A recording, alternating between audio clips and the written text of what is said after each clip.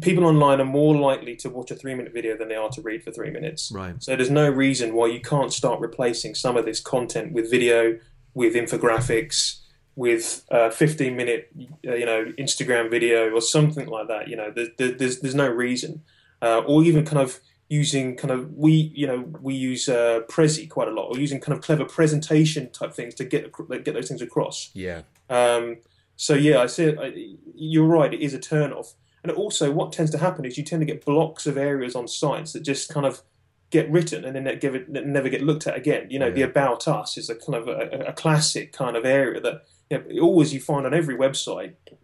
And but it could be do, do, do so much more with it. And you know, a really good, well-made kind of video that you know that acts as a an, an employer branding tool and tells people about what it's like to work at your business.